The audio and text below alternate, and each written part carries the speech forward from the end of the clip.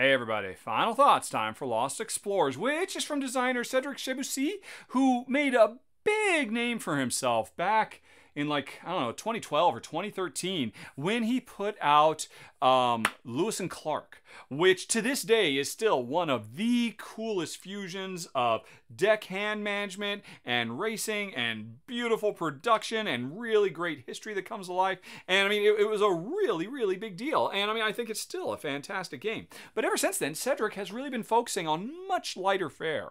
Uh, you know, games that are quicker, easier to play, and Lost Explorers is definitely one of those. It's very light, very fast. Every turn, it's a worker placement game at heart. You've got at potentially three, maybe four workers, depending on how you evolve, and you split them between gathering the resources you need to um, be able to send them out to various places in the world so you can score points. And there's a couple of interesting things about it. One is the resources themselves. Every time you are going to get one of these, you have to make a choice, blind, as to whether you're going to take it as a vehicle or as another mission to score more points. And that is an incredibly important decision with a surprising amount that goes into it because you've got to consider right, okay, I know this is a green. I know that means it's going to be somewhere on this side of the world. I know it means I'm going to need a lot of green blimps. Okay, with that in mind, should I take it on? I also know it's going to let me move up this progress track instead of that progress track. All that combination of stuff helps me decide if I should take a gamble and find out that, yep, I need to go to China and Australia to complete this one.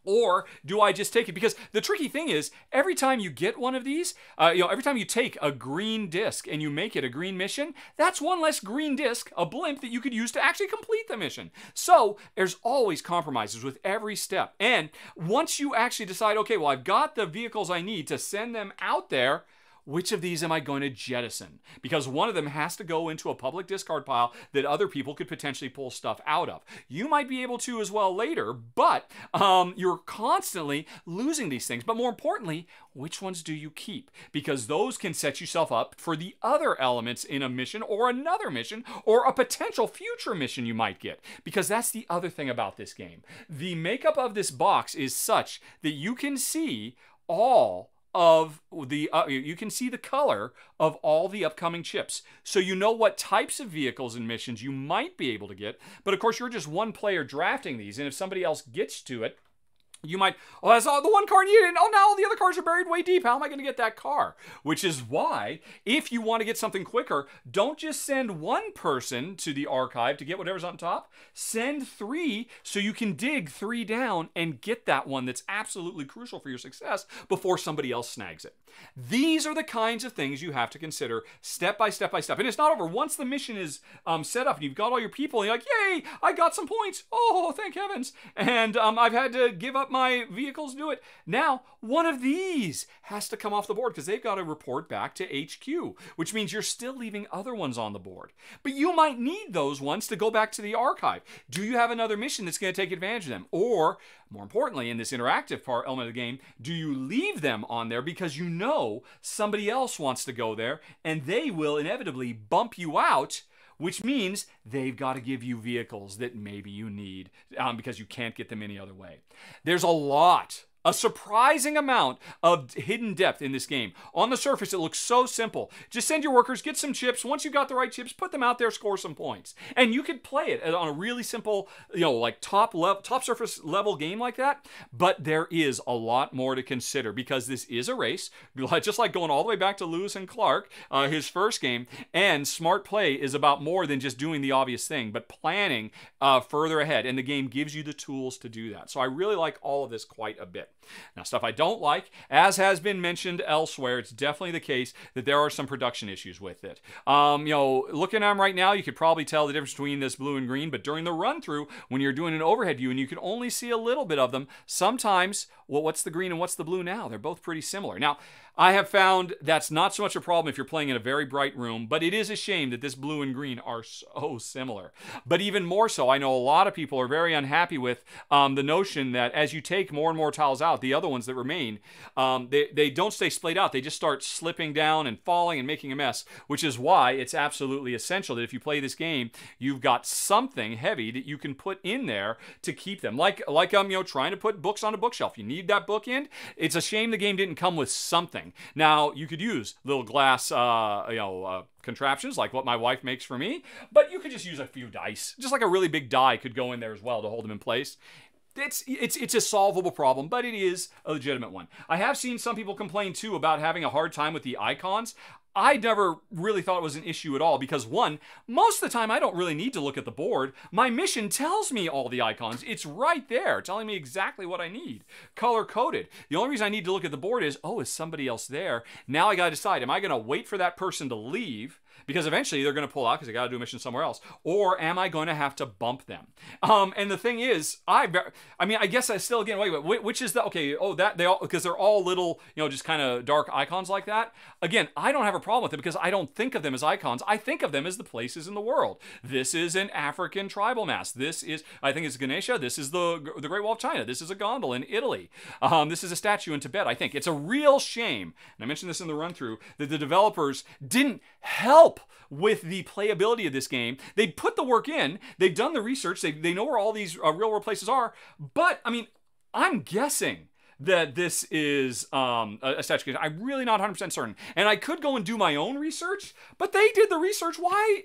I mean, this this QR code is fun. It's a neat little fun gadget and gimmick, but I would have much rather had one, just a summary of how the game works, and two, a little bit of history of all these places in the world. Because I have found um, I don't have a hard time when I look at this artifact. I know this is Tibet, um, Italy, and I don't have to. Like, wait, let me try and match symbols here and there. And so, I mean, again, if the tools are here that you need. I'm granted you do need something heavy. Um, you know, again, uh, check out my wife's uh, line of uh, glass game accessories at www.gamerglass.art. Um, you know, they are one possible way to do it. But again, just some heavy dice will do it as well, um, or poker chips, or just about anything. It's not really that tough. So there, there's there's more going on here than meets the eye, and we definitely enjoyed it. Um, I it is interesting though because in spite of all my talk about how there, there's a lot going on here, once you kind of got it, once you've started to see the machinations, um, you know, for us as a two-player game, it kind of becomes very quickly uh, kind of a road. Okay, let, I, I know how this is going to play out. I know where you're going to go. I know where I'm going to go. And in large part, that's because as a two-player game, the board tightening mechanism is these things. There are four locations in a two-player game that nobody ever has to go to. They're just automatically taken care of, and that works to tighten up the board. Um, but it doesn't work as well to engender the feeling I assume you'd get at a higher player count when there are more players moving in and bumping each other and like, okay, okay, is anybody going to bump me out of Africa? You know, I mean, maybe I don't want to go here because I want to stay there because somebody else, oh, nobody's going to go. Maybe this is the one I should pull out. As a two player game where there's generally only three or four missions to keep track of, and, um, you know, half of the board is just gone, and, um, you know, there's still going to be opportunities to bump each other and whatnot. But again, it's very easy to game out exactly how things are going to play out, right? Okay, I know I should or I shouldn't. I mean, so I think this game is going to be a lot more interesting where you have that um, that confounding element of other human players. Oh my gosh, I didn't think you were going to go there now. You actually bumped me out before, but you did give me this chip. That means I could do this whole other thing now. Maybe I should go ahead and research and get a train because you just gave me the other train I needed. No, whatever this is, is it's going to work. And really, I wanted to do a red anyway um, because I didn't think you were going to bump me out. I thought you were going to go. The more unpredictability. Now, that means, I would imagine, again, having not played this as a more than two player game, where it's very strategic, like almost too much so that you can just work everything out. At a higher player count, I think it's going to get much more tactical as people are jumping in and moving each other around, and it's hard to keep track of what everybody's prioritizing at a given point, while, of course, at the same time, everybody is racing, racing, racing.